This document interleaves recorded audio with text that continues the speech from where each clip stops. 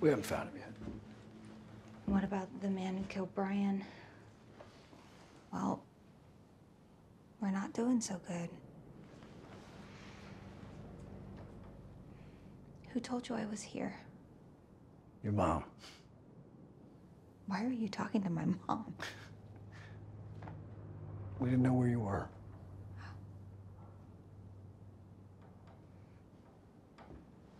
Have you been back to the room you grew up in? No, fuck no. It's a couple hundred miles away. It's not exactly worth it. Right.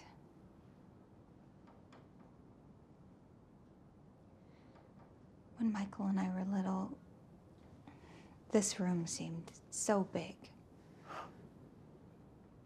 I was really scared of thunder.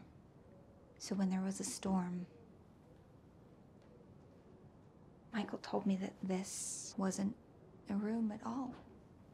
That this was actually just a big wooden box. A big wooden box that nothing could get inside of. And it didn't matter if, if there was lightning or tornadoes or gunfire.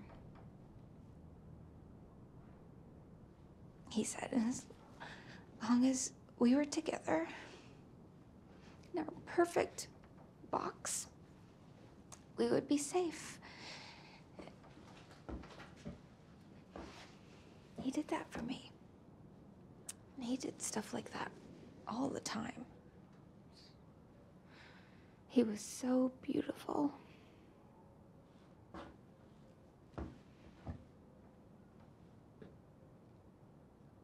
I'm not.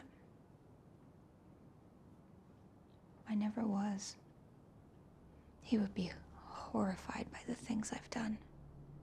And if you've come to tell me that Michael wouldn't want me to hurt Henry, that he would want me to forgive,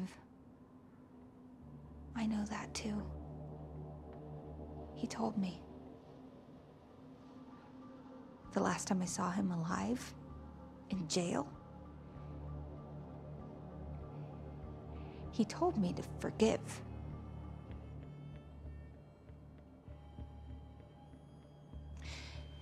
And what did he get for that?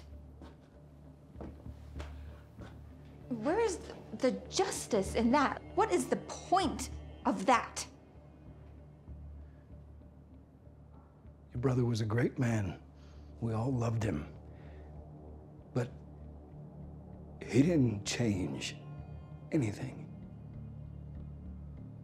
You did. We're with you.